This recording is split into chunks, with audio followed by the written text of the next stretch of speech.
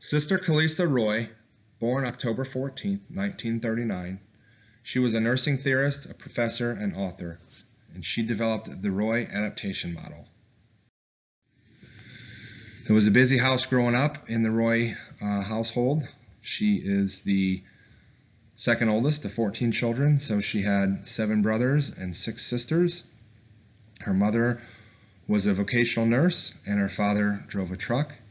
At age 14, she started working as a kitchen hand at the hospital and then worked her way up to a nurse assistant. And then after high school, she joined the Sisters of St. Joseph of Carondelet. And then in 1963, she earned her Bachelor of Arts degree in nursing. And then three years later, she earned a master's degree in pediatric nursing. Then she went on to study sociology, earning her master's degree and her doctorate degree, both in sociology. You can see Sister Callista Roy there on the right, uh, circled in yellow. The Roy adaptation model was developed in 1976. She said the goal of nursing is to promote adaptation there's major concepts of the adaptation model include person, environment, health, nursing, adaptation. Roy describes people in terms of a holistic adaptive system. An adaptive system described as a whole comprised of parts. It functions as a unity for some purpose. It includes people as individuals or in groups, families, organization, communities, and society as a whole. For environment, all conditions, circumstances, and influences surrounding and affecting the development and behavior of a persons and groups with particular consideration of mutuality of person and Earth's resources, including focal, contextual, and residual stimuli.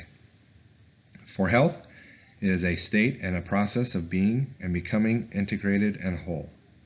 And for nursing, is to promote adaptation for individuals and groups in the four adaptive modes thus contributing to health, quality of life, and dying with dignity by assessing behaviors and factors that influence adaptive abilities and by intervening to enhance environmental interactions. And with adaptation, it is the process and outcome whereby the thinking and feeling person as individuals or groups use conscious awareness and choice to create human and environmental integrity. Coping process subsystems. So you have regulator and cognator. Regulator is a person's adaptive system through neurochemical and endocrine responses. And cognator, this is a person's ability to cope mentally via self-concept, interdependence, and role function. Some examples of regulator include increase in heart rate and blood pressure, tension, excitement, loss of appetite, and increase in serum cortisol. Uh, some signs of ineffectiveness of cognator include faulty perception and information processing, ineffective learning, poor judgment, and inappropriate effect. There are four adaptive modes. They are physiological, physical, self-concept, group identity, role function, and interdependence. An understanding of physiological behavior uses knowledge of anatomy and physiology of the human body as well as of the pathophysiology underlying disease processes. The nurse will be knowledgeable about normal body processes to recognize compensatory and compromised processes of physiological adaptation.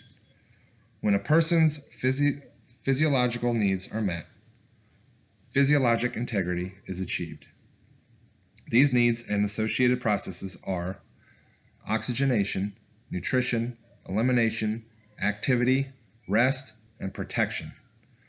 Physiologic adaptation includes complex processes as they all relate to senses, fluid and electrolytes, neurological function, and endocrine function. Self-concepts is formed from internal perceptions and perceptions of others' reactions directs, one, which directs one's behavior. The self-concept mode consists of sense of unity, sense of purpose, internal perceptions, external reactions, identity, integrity, body image, and self-ideals. It is important for the nurse to have knowledge about the self-concept mode to assess behaviors and stimuli influencing the person's self-concept. Under the role function adaptive mode is where uh, roles people have in society and where one stands in within a society.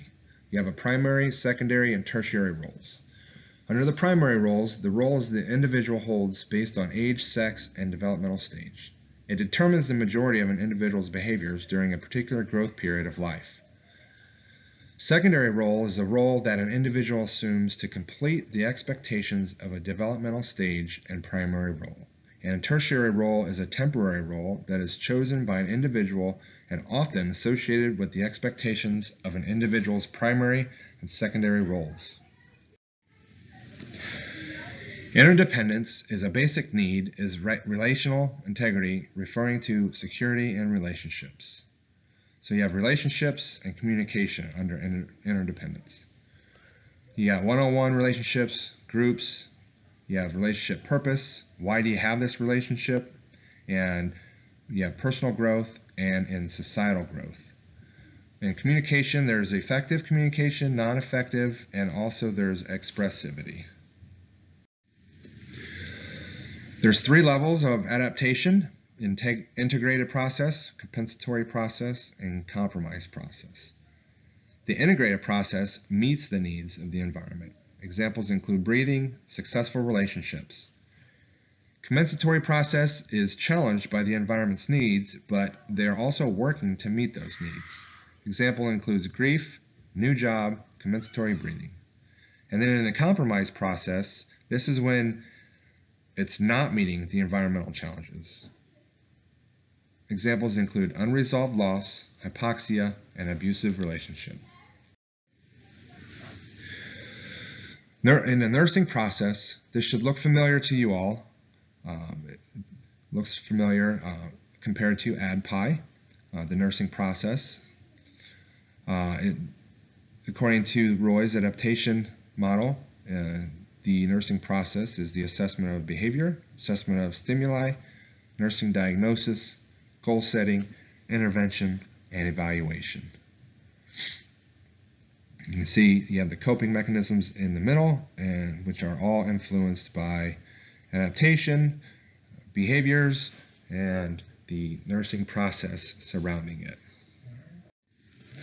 A representation of a human adaptive system.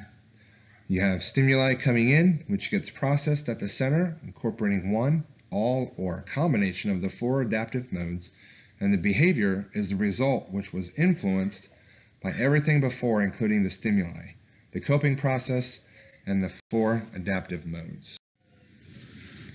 So in summary, you have major concepts include person, environment, health, nursing, adaptation, you have the four adaptive modes, the physiological, physical, self-concept, group identity, role function, interdependence.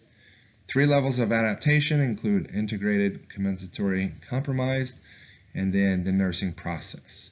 Assessment of behavior and stimuli, nursing diagnosis, goal setting, implement interventions, and evaluate. And here's just a fun little crossword puzzle we developed with uh, questions related to this presentation. If you would like to print this out and complete it, that would be great. And here are the references where we got our information to create this presentation. That's it for now. Thank you.